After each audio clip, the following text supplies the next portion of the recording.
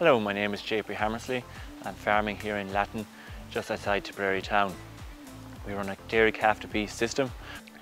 We buy 70 calves from a local dairy farmer where they're predominantly British Friesians with a few Angus. What we aim to do is finish 50% of them at 22 months and the remaining at 28 months. I joined the Green Acres programme in the spring of 2019.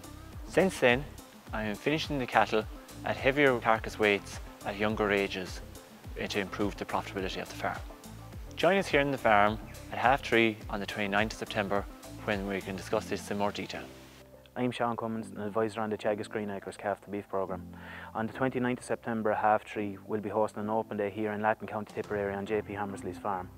On the day we'll be focusing on a number of key elements that are critical to calf to beef systems. We'll be focusing on the calf rearing stage, we'll be looking at the first year of that animal's life on farm which encompasses the first winter. Um, we'll be focusing on the grazing performance of these animals and then finally the finishing period. In addition to this we'll be looking at the measures JP has taken to reduce the carbon footprint on his farm. JP is also involved in the signpost programme He's incorporated clover into his swards, is using protected urea and is using less slurry spreading techniques.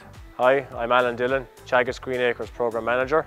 Due to COVID-19 regulations, to attend JP Hammersley's farm walk on September 29th, we require that you all register in advance. This can be done by ringing Teagasc Clonmel on 052 61 21300 to register for your attendance. We look forward to seeing you all there on the day.